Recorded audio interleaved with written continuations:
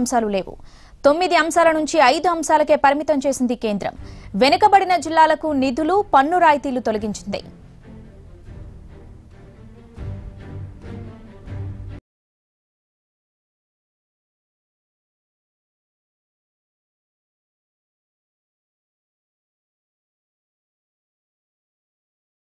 Phone ద్వారా అందిస్తారు రెహానా. కేంద్ర ప్రభుత్వం ఒక రకంగా ఆంధ్రప్రదేశ్కి షాక్ ఇచ్చిందని చెప్పాలి. ఆ, సబ్ కమిటీకి సంబంధించి రెండు రాష్ట్రాల విభజనకు సంబంధించి పెండింగ్ ఇష్యూస్ మీద చర్చ ఈ నెల పదిహేడవ తేదీన సమావేశం కోసం సబ్ కమిటీ ఏర్పాటు చేసింది. మొదట మనం చూసుకున్నట్లయితే సబ్ కమిటీ ఆ, అంశాలు ఎజెండా కింద తొమ్మిది అంశాలను పేర్కొన్నారు. దీంట్లో కీలకంగా ఆంధ్రప్రదేశ్ ఎన్నో రోజుల నుంచి డిమాండ్ చేస్తున్న స్పెషల్ స్టేటస్ ఒకటి ఉంది. అదేవిధంగా pending issues long pending issues Uttarandhra అదేవిధంగా రాయలసీమ వెనుకబడిన జిల్లాలకు సంబంధించి కేంద్ర ప్రభుత్వం నుంచి రావాల్సిన గ్రాంట్లు ఇవన్నీ కీలకమైన అంశాలు ఉన్నాయి అయితే మనం చూస్తున్నట్లయితే సాయంత్రం జరిగిన పరిణామాలతోటి స్పెషల్ స్టేటస్ సంబంధించిన అంశాలను తీసుకువెళ్తారు అదేవిధంగా వెనుకబడిన జిల్లాలకు సంబంధించిన అభివృద్ధి గ్రాంట్ అనే చర్చనీయాంశ అంశాలను తీసుకొచ్చారు తీసేశారు. బీజేపీ మనం చూసుకుంటే జీవీఎల్ ఎంపీ జీవీఎల్ ట్వీట్ చేశారు. ఇది ప్రత్యేక హోదాకు సంబంధించిన అంశం ఆ తెలంగాణతో ముడిపడేది లేదు. ఇది కేవలం ఆంధ్రప్రదేశ్ సంబంధించిన అంశం మాత్రమే కాబట్టి ఇది ఉమ్మడిగా జరిగే వేదిక మీద చర్చనీయాంశం కాదు. అందుకని తీసేస్తున్నారని ఒక ట్వీట్ చేయడము ఆ వెంటనే కేంద్ర హోంశాఖ ఈ మేరకు ఎజెండా నుంచి తీసేయడం అనేది చర్చనీయాంశంగా మారింది. ఉదయం ఎప్పుడైతే కేంద్ర హోంశాఖ చర్చనీయాంశ అంశాల్లో రాష్ట్రానికి సంబంధించిన పెండింగ్ ఇష్యూస్లో స్పెషల్ స్టేటస్ని పెట్టడంతో ఇటువైపు వైసీపీ కావచ్చు అదేవిధంగా వైఎస్ఆర్ కాంగ్రెస్ పార్టీ ప్రభుత్వానికి సంబంధించిన వాళ్ళు కావచ్చు.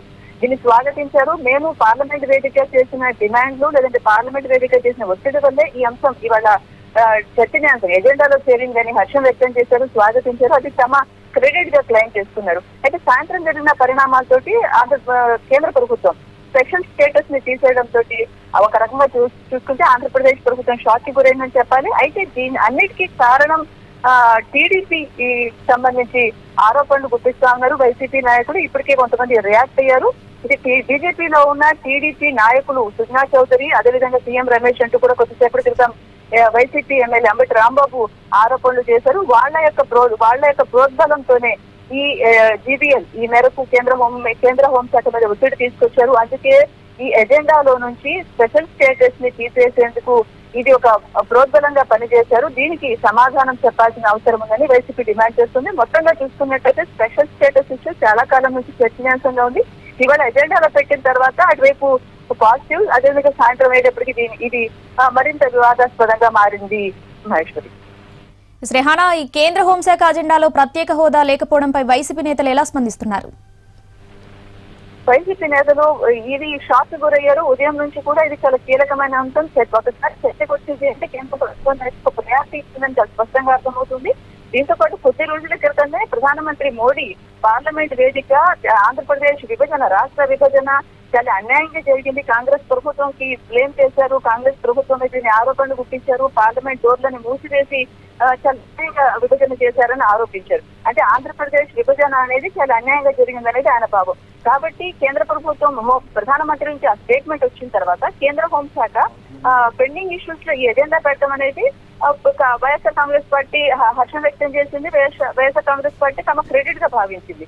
అయితే సాయంత్రం ఈ ఈ మార్పు జరిగిన తర్వాత ఎజెండాకు సంబంధించి సవరణ చేసిన తర్వాత మాత్రం వైఎస్ఆర్ కాంగ్రెస్ పార్టీ కేంద్ర ప్రభుత్వాన్ని బ్లేమ్ చేయకుండా టీడీపీ మీద ఆరోపణలు గుప్పించింది.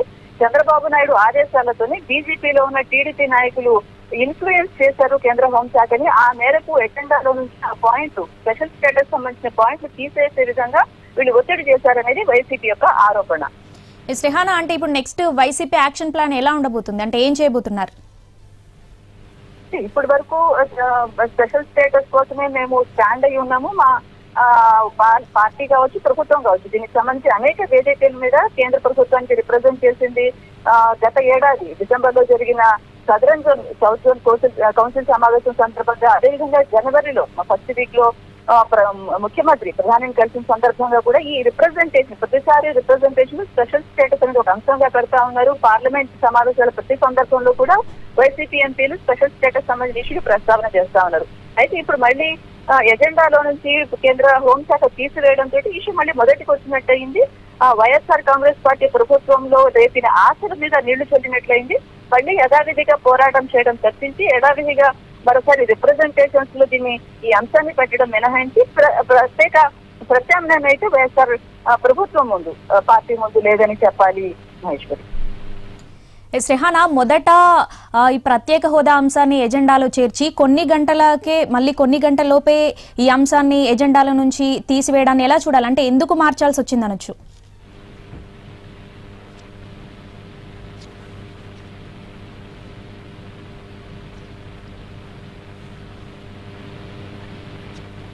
Right Rehana thanks for the updates